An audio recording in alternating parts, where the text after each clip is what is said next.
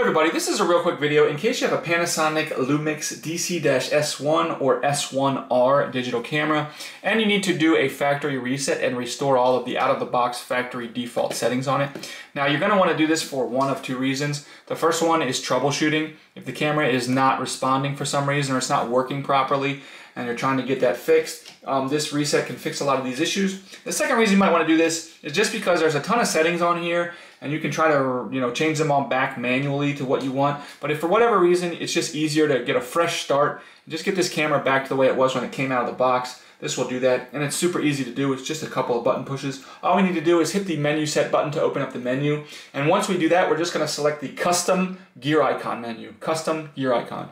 From the custom gear icon menu, we'll select the settings uh, gear wheel icon. And from the settings gear wheel icon menu, we'll select reset. Really as simple as that. So it goes menu, custom, wrench, settings, gear wheel, reset. And everything will be reset. You can set this camera up like new.